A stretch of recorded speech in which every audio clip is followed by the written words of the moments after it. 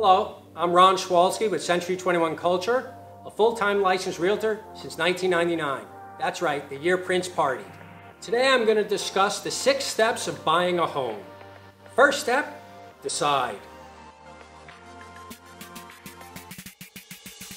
Some of the reasons people invest in real estate are for tax purposes.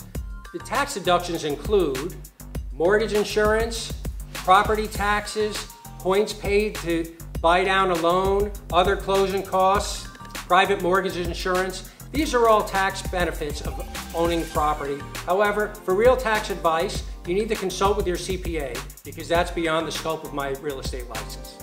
Other reasons why people decide to buy real estate or buy their first home is because of changes in their lifestyle. Suddenly, you're getting married, you're expecting a baby, the family's growing, job transfer.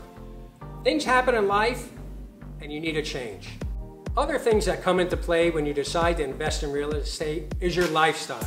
Will you still be able to afford going out to dinner once in a while, going out to the movies?